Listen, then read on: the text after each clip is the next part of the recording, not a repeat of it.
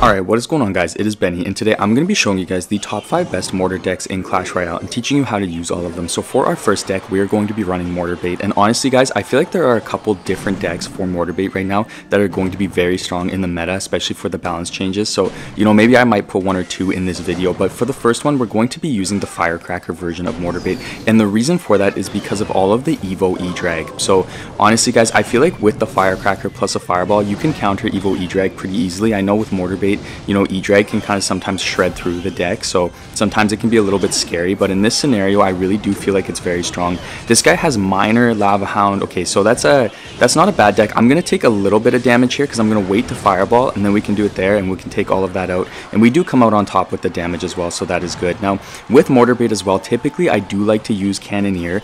Um, I don't know if Cannoneer is going to be absolutely useless when by the time you guys are seeing this video, for all I know it could be, so I would exercise a little bit of judgment with it, but for the most part, I do really like Cannoneer. And then uh, another tip that I will give you guys for this deck is try to play your Firecracker right at the bridge. So you'll see, or not necessarily at the bridge, but you're not, I, I very rarely will start my Firecracker in the back, you'll find. So uh, that is one thing that you definitely do want to pay attention to. Now, I think I'm going to ignore that Lumberjack just because I want that Rage to go down, and if I played my Spear Goblins a little bit early, then the Rage would have taken them out. So I'll play that. Hopefully we can get him to bait out maybe like a Zap or something.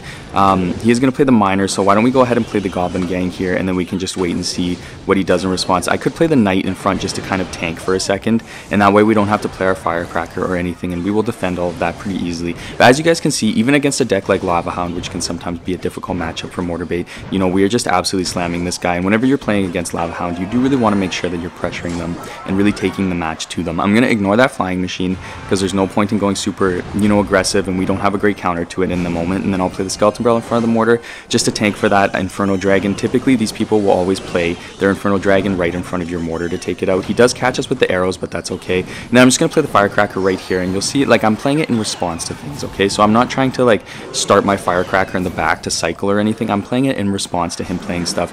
Um, he's going to play the Lumberjack. I'm going to play the Knight in front, because the longer we can keep that Firecracker alive, the better. And we already are back to another one, so that is good. He could have Clone in this deck. I mean, like, I would be surprised uh, if I saw a Lava Hound clone deck that, you know, used to be pretty popular, but at the same time, he very much could. I might have to Fireball here um, just to be safe. Actually, I guess we really didn't need to, but just to be safe, I feel like going for the fireball is pretty good. But that's definitely going to be a win, so let's give him a good game. Let's give him a good luck, and let's go on into the next deck. Alright you guys, next matchup, and we're going to be running some classic mortar using Ice Wizard. Now, honestly guys, this deck is a ton of fun to play. It was really popular a long time ago, and then it disappeared from the meta, just as Ice Wizard kind of disappeared from the meta, and then it made a resurgence last season, and you know, some people had some really high finishes. I don't know if they set a record or not, but I saw some people make it to like 4k trophies using this deck, which is absolutely absurd. I don't know what people are able to do that, but they are crazy. They are on another level. So, you know, we're going to be playing that. It's a really good deck. It's a ton of fun to play and definitely worth playing. If you're trying to learn how to play Mortar, I feel like Classic Mortar, you know, is one of those decks that you can never go wrong with, with trying to learn. And, you know, it really helps you master the fundamentals as well, which is nice. The only thing with this deck, and something that I will kind of tell you guys to try to help you guys, is sometimes you can get caught having three spells in rotation. So try to really use your spells as you can, just because it sucks to have three spells stuck in your hand and not being able to cycle. Looks like we're going to get a Mortar Lock here, which is pretty huge. Um, I'm gonna go ahead and rocket right here just to get rid of that Sparky. I don't know if we'll catch the Knight in time or not. That's not that's okay though. It's really not a big deal. I'm not too worried about the Knight. It's mostly just the Sparky. I don't want him to get that Evo Goblin Giant in front of it and then absolutely slam us. And then, hmm, Okay, he's not running Evo Goblin Giant. For some reason, I thought he was. Uh, let's go ahead and start the Ice Wizard in the back here, and then we can also start a Mega Minion here just to get that damage. The Mega Minion is a really good way for you to kind of get damage on something. That's like your, your number one damage card. And then we can go ahead and play the Knight here to defend. He's going to go for the Lumberjack. Let's go ahead and Tornado all of this together just so that the Ice Wizard gets some really good value from the splash. And then we can even play the E-Spirit right here just to kind of distract everything a little bit longer to keep the Ice Wizard alive. And then we can go ahead and Evo Mortar with the Ice Wizard, and hopefully we can get a lock out of that. So we'll do that. And then he is going to play the Knight, which isn't a big deal. We'll have the Ice Wizard there. He's going to Void. I don't know if that's going to catch the Ice Wizard or not. The Void definitely doesn't do as much damage, but it does still counter the Mortar, which is unfortunate. But we pulled out quite a bit of Elixir from him there, so that is good. And then, hmm, Okay, we can go ahead and start the Ice Wizard in the back again just to get that cycle going. He's going to Goblin Giant again. I don't really know what this guy's doing um, as we voice crack there. We can go ahead and play the Evo Knight here, and then if he kind of stacks everything up, what we can do is we can literally just rocket. I'm going to play a Defensive Mortar here, and then why don't we go ahead and Tornado all of this together just to get that going so that the evil Wizard, or the Ice Wizard, sorry, and the Mortar can get some really good value again. And then the Sparky will take out one of our Ice Wizards, but again, that's not that big of a deal. We can, oh my goodness, I didn't mean to rocket Oh my goodness. Okay, we gotta we gotta really lock in here because that was a huge mistake. I did not mean to rocket there. He's gonna start the Evo Knight in the back. That's a little bit scary. Um, okay, here comes a pretty big push. Let's go ahead and cycle the E-Spirit. Then let's go ahead and get an Ice Wizard here. And then, okay, let's go ahead and let's rocket right here just to get rid of that Sparky and the Evo Knight. We will defend all of that. And then, hmm, okay, let's go ahead and play the Knight right here just to deal with everything there. And then that should all get defended. Let's go ahead and play a mortar now. We kind of want to press the advantage here. We'll go ahead and play the Mega Minion to keep the keep the pressure up and keep that defense on the mortar just in case.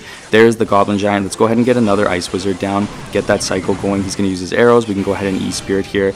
And then we should be able to get an Evo Mortar and an Evo Knight down in a second here. So let's go ahead and Evo Knight. Then let's Evo Mortar. If he Sparkies, he's going to be in trouble um, because the Evo Mortar will really disrupt that. And then we can always go for like a Tornado play in a second here. Um, let's go ahead and tornado everything together just to make it a little bit easier to deal with. And then we can go ahead and E-Spirit here just to keep the mortar alive for a second. We'll get the Knight in front. So now we do have a mortar lock. Let's go ahead and get the Ice Spirit down here. Uh, or the Ice Wizard, sorry, to get that. Keep that mortar lock. If we can get one more shot, then I think we'll get the win there. Then let's give him a good game. Let's give him a good luck, and let's go on. Alright guys, for our next matchup, we're going to be running some Mortar Graveyard. And uh, the reason why I wanted to show this deck is because it doesn't have to use Evo Mortar, which is kind of nice. So I know for some people who maybe don't have Evo Mortar or want to have some freedom with that, this is a great deck and a great option for that. Another thing as well is with all the Cannoneer that seems to be in the meta still, honestly guys, Graveyard is just so strong. It's so hard to deal with for so many people. So 100% I would recommend giving this one a try. Let's go ahead and play the knight here just to distract that lumberjack and then we do have the wizard going in there which is nice. Um, I don't think I'll play anything else. I don't think we really want to defend the mortar there too much or anything. So we'll go ahead and just kind of chill out for a second. Uh, and then we can go ahead and we can play the snowball just to...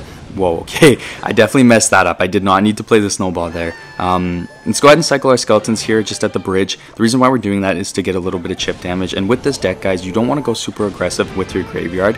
Um, typically, you want to play it a little bit slower and then you'll go for the graveyard once you're feeling a little bit more comfortable. Another thing as well with this deck is you can really use your Skeleton Dragons to kind of split lane pressure. So you might start them in the back like this and then Mortar one lane and then Graveyard the other lane. It does really depend on just like how the match is going. I wouldn't say you're going to do that every single match, but you know, it is an option for you for sure. Let's go ahead and play these Skeleton Dragons here and split them. That way we're just being safe. If he guys goes for anything, you know, we'll be okay. We can go ahead and play the Knight right here. And this might be an opportunity where we could go for the Graveyard because we have the Knight down to tank. We have the Skeleton Dragon for a little bit of air support as well. It will get shredded by that Cannoneer, but so this is a good opportunity. So we go for the Graveyard. He's going to have a ton of trouble defending that. Really good E-Spirit, actually. That's going to really kind of clear up everything, but still, we got some amazing damage there off of that Graveyard, which is nice. And one of the things that I really do like about Graveyard is you can kind of one-trick with it a little bit. So, you know, when you get to your Evo Mega Knight sometimes, it, you might find that, like, okay, I haven't played my Graveyard yet this entire match. I'm going to go ahead and play it right here, and they won't expect it. And with the Evo Mega Knight, or with the Evo Knight, sorry, not Evo Mega Knight, you can go ahead and get a really nice win really quickly. So 100% I would recommend that. I think he misplayed his zap there. Let's go ahead and play some Skeleton Dragons here. Another tip I really want to give you guys that I cannot stress enough is when you're going to play your Graveyard, like try to make sure that you're doing it with a purpose. I see so many people lose their matches using Evil Graveyard or, uh, you know, Graveyard with Evo Knight because they're not utilizing both the Evo Knight and the Graveyard and they're not making use of the fact that like your Graveyard is just really strong if you play it in the right location and the right time. They kind of just spam their Graveyard because they think like Graveyard is just one of those cards that you play when you have, and that's not the case. You want to save it, and you want to try to make sure that you're playing it at the right time, like I did there. So we do get a really nice win, so let's give him a good game, let's give him a good luck, and let's go on into the next match. Alright you guys, for the next matchup, this shouldn't come as a surprise because I just made a video on it the other day, but we're going to be running Mortar with the Goblinstein, and this is a very similar deck to what would use the Skeleton King before, but I feel like with the Skeleton King, you know, one, everybody knows about it, so it's not like that's like a secret, like really good deck, so I didn't really want to put that in this one um, necessarily, but then two as well as, you know, it did kind of get nerfed, so I wanted to do something a little bit more new and, you know, in tune with the recent champion that came out. So this deck is absolutely crazy, and it is so good at stopping people's big pushes, okay? So, like, if you're up against a player who plays Golem or something, you can absolutely just slam them. It is absolutely crazy. Um, I don't even know how to like stress it enough. Let's go ahead and play the Goblinstein right here just to distract that mortar and deal with everything. And then I'm going to pop the ability right away. It's just really good value. It's going to shred everything. And if he tries to defend that mortar, um, you know, we don't really have to worry. It's like a guaranteed defense. And then we'll leave it at that. We don't want to spend too much elixir or anything.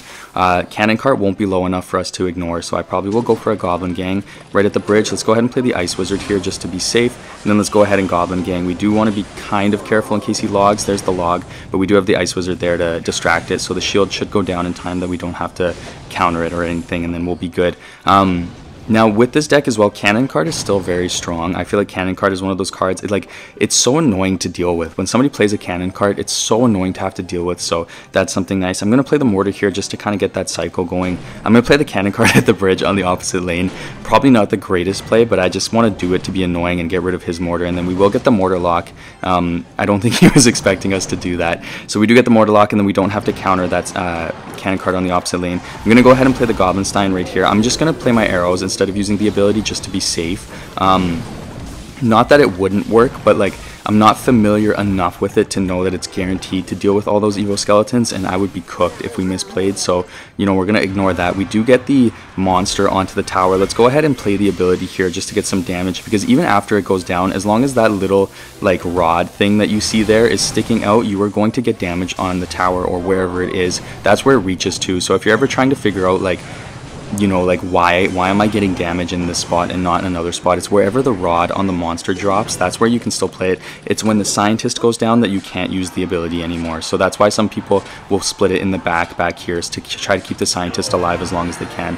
You know, if your opponent has like arrows or something. But really nice win here, really nice win against a mortar v mortar matchup. So let's give him a good game, let's give him a good luck, and let's go on into the next match. Alright guys, for our last deck, honestly, Benny cooked up something a little bit special here. We are going to be running mortar bait, but we're using the Goblinstein instead of Little Prince or Musketeer or anything. And you know what, guys? Goblinstein is just so broken that you have to take advantage of it. And we're going to be using Evo Bomber because Evo Bomber is still amazing in Mortar Bait.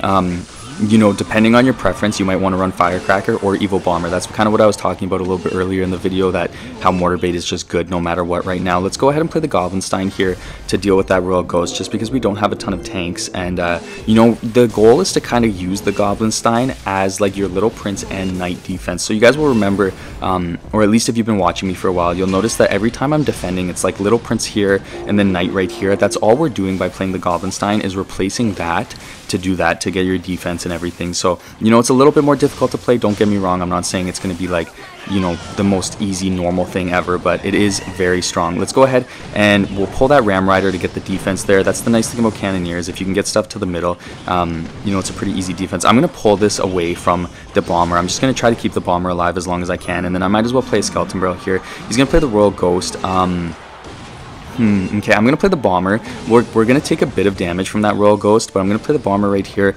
The reason for that is because I want the Royal Ghost to take a bit of damage from the Bomber and then the Cannoneer, and then that way we don't have to play our Goblinstein. We'll take one or two hits, but that's it. And then why don't we go ahead and play the Spear Goblins here? We want to cycle and keep that pressure up on this guy. And then because he played the Bandit, um, I'm to play the Goblinstein here, and then let's go ahead and play the Mortar as well, as we had a pretty crazy voice crack there. Um, so let me know if you guys are watching to this point, and uh, let me know if you heard that voice crack, because that is a little bit crazy. We got the Freak Machine going in right there, and then he's to play the Evo P.E.K.K.A. Now, this is going to be an interesting defense, just because... Um, you know, it can be kind of annoying. Let's go ahead and play the Goblin Gang right here, see if we can bait out a spell. Then I'm going to Evo Bomber. If he goes for the Ram Rider, then we should be able to get some really good Fireball value. So let's go ahead and do that, and then I'm going to log as well, just to kind of interrupt that P.E.K.K.A. so that he doesn't get the shot on the Goblins. Oh my goodness, that is an amazing defense. Let's give him a good game, because we already know that we've won. I feel like a really bad person saying that, but like I'm just feeling absolutely locked in right now after that defense. Um, let's go ahead and play the Bomber here, and then, man, I actually kind of feel bad for saying good game. I feel like that's so disrespectful to do sometimes, but uh, we got the Goblinstein going in there. If he really, like, we haven't even had to pop the ability here. That's how crazy that card is. Like, we're absolutely just slamming people. This is my own little deck that I made, so, you know, if you see people running this, make sure you give credit to Benny and you know, only Benny because this is this is pretty crazy. Let's go ahead and play the bomber here, and then we can go ahead and do this, and let's play the mortar here just to kind of distract that Evo wizard. We don't really have to worry too much about that. We can play the goblin gang here for the bandit, and that's going to be a win. Thank you so much for watching, guys. I really appreciate it. I hope you guys enjoyed these decks, and I cannot wait to see you guys in the next one.